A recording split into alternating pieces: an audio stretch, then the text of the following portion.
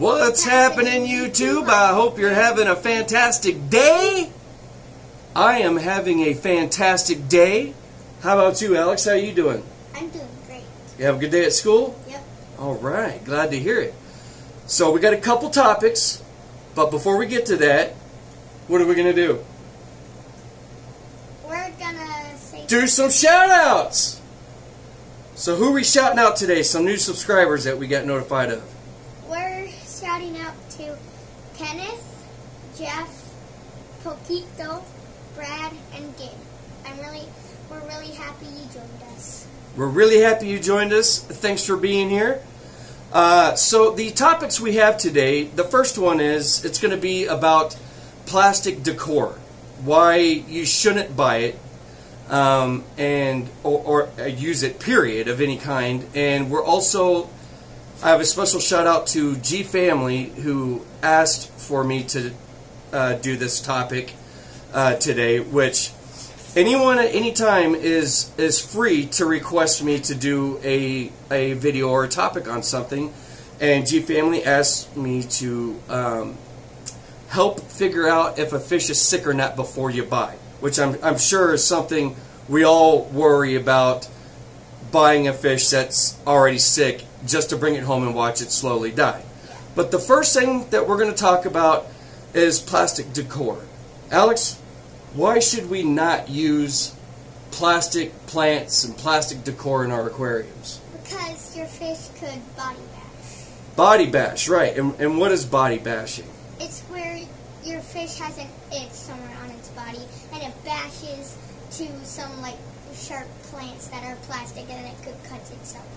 Right. So what what he's saying is, if you most people have seen this, uh, fish can do it for many reasons, but the main reason a fish would body bash is if it has an itch. Obviously, it doesn't have fingers like we do, so what it would do is swim up to an object and whip its body uh, along it to get the itch.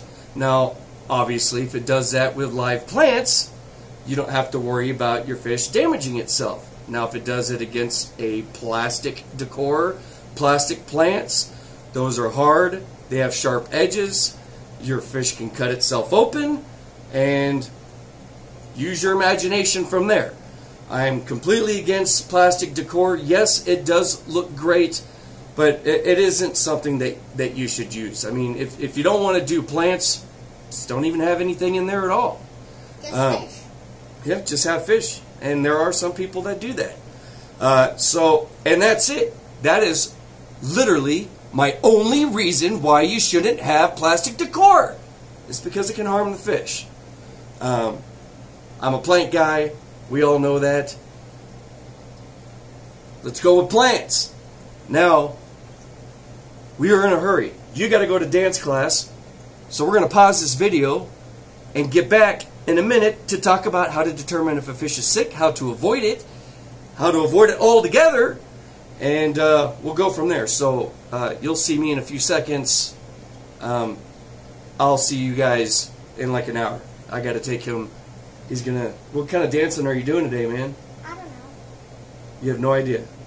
Well, I did read on the schedule that it's uh, sock, sock, silly sock day, dance day. What kind of dancing do you do in silly socks?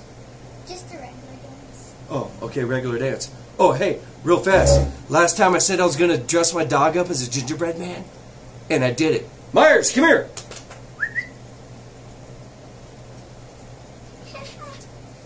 Myers, He's a gingerbread man. the gingerbread man. Oh, let's get his hood over his ears. I'm a gingerbread man. yeah. Yeah, look at how happy he is wearing this outfit. Yeah, he's definitely not happy. Wait, no, I said he's happy. Oh yeah, he is. Yeah, he's happy. Yeah. Yeah, he's totally happy. Yeah. All right. Uno momento, por favor. We'll be right back. Bye bye. All right, I'm back. Did you miss me? I knew it. Okay, so to get to the second half of the topic for the video today, it's how to uh, notice things that might be wrong with the fish before you purchase it. I'm going to bring a few things up, the most common, and then I'm going to give you a way to avoid it altogether. Now, the most uh, common issue that you'll run into with fish at huge uh, chain stores like PetSmart and Petco is uh, swim bladder disease. Now, this uh, this happens from a fish fish not being acclimated to the water. Now, when you go in there, you see that they're in a bag, and they're the bag is sitting in the tank, and it's being acclimated. But what it's being acclimated to is it's being acclimated to the temperature of the water. It's not being acclimated to the actual water itself. So they wait 30 minutes and then just dump it into new water. It doesn't matter what you have, not only does it need to be acclimated to the temperature, but it should also be acclimated to the water.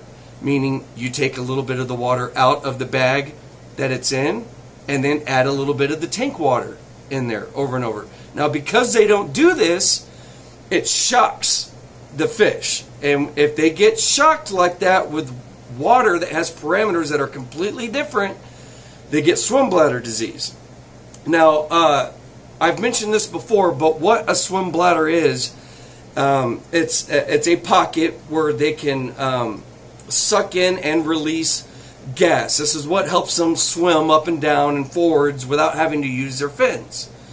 Um, now, whenever they have swim bladder disease, uh, there's a couple ways you can tell. One is as if they're swimming vertically with their nose up, or if they're swimming with their nose down. And the reason they're swimming this way is because they're extremely uncomfortable because their swim bladder is, is infected and it's essentially it's messed up their equilibrium. They can't hold themselves uh, level. Uh, so that's one of the first things that I look for when I go into a fish store. Is I'm looking to see if they're steadily swimming with their nose up or their nose down. Now, I I mean this constantly, not not like you just saw one like you know point up for a moment and then went back horizontally. Like it is stuck in that position. It's literally stuck in that position because it's sick. Um, another thing to look out for when you're buying a, uh, a fish is a, a, asymmetrical body shape. So if you were to look and draw an imaginary line down the center of the fish, and one side of the fish looks different from the other side, should be a mirror image. If anything is off, one fin is smaller than the other, or it, it just looks peculiar in a way, there's something going on there. Okay, so look out for that. Also, look out for lumps, bumps, concave stomachs, and blowed out stomachs. Um, another big one is glass surfing. If you uh, if you may or may not have ever seen this before, but if you ever go into a fish store uh, glass surfing is where a fish gets right up against the glass and swims up and down while touching the glass as fast as it can, over and over and over and over. It's doing this for several reasons. One, it's either extremely sick or it's extremely stressed out. Either way, it's not good. Uh, because fish can die just from stress. They get too stressed, they'll just call it quits. Um, you, you know, so Uh, look out for that. And also fish that are hiding. If the fish has been acclimated properly and it doesn't look peculiar and it's swimming around and being active, there's a good probability that this that fish is okay. Now, you see a fish that you're interested in, but it's hiding in the back, low to the ground, and it's just not moving or doing anything. It's stressed or it's sick. One of the two. Don't don't pick it. Now, I'm going to give you a fish hack. A fish hack to avoid all of this without having to sit here and try to identify if a fish is sick or not.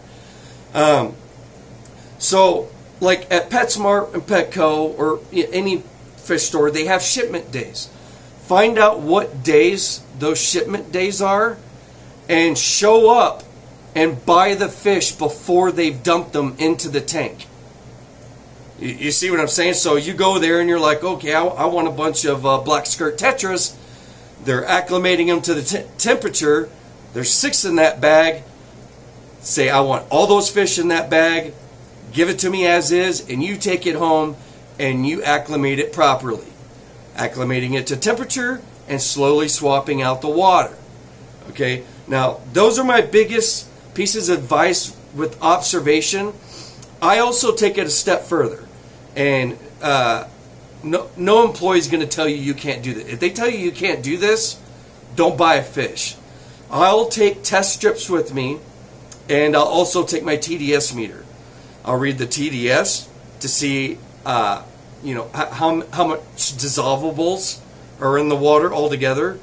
Um, anything 500 and over, there's too much of something going on in there. And then I'll also use testing strips and read to see if there's ammonia or nitrites in there. If it's got either one of those, the fish is already sick. Um, I have yet to have an employee ever tell me, no, you cannot test the water. If one did tell me that I couldn't, they're going to lose my business. I may buy plants there, but I'm not going to buy fish if they're not going to if they're going to prevent me from testing the water to see if they're even sitting in healthy water. Period. That's a huge red flag. All right. Now, some may say that that's I'm going a little overboard, but you know I've been doing this for for a while, and there's nothing more heartbreaking than buying a fish, bringing it home, just to watch it die within a few days or a week later. And yes, uh, a lot of these uh, big uh, chain stores will replace a fish that's going to die. But why go through that? Why go through watching it die and have them replace it when you can identify certain things from the beginning and then double check by actually testing their water? So those are uh, those are my big suggestions for today. All the topics that uh, I've got covered, and like I said, um, I am now I, I, rely on a lot of you. Uh, you know, if you have questions, give me a topic to cover. Um, I am waiting on some new plants, so I'll always be covering plants because uh, Plant Bonanza. Oh, let me show you the um, Devil's Ivy real fast before I let you go.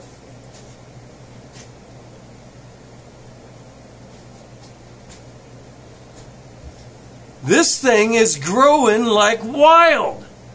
I mean, just a few days ago, I did a video and it's going nuts. And the back end where I wasn't too sure about, those brown spots are now forming roots. The entire thing is starting a whole new plant. It is doing fantastic. Pothos are awesome. And then I got a bunch of that purple ivy going across the top too. I'm not sure if it's converting right or not. When I'm positive that I'm, I've done it correctly, I'll show you. But there's no doubt in my mind that this devil's ivy is happy. So, thank you so much for watching. I do appreciate it. Leave a comment, say hi. Any new subscribers, say what's up. I hope you had a fantastic day. And like always, if you're having a bad day, you're down in the dumps, get up and do something about it. We'll catch you next time.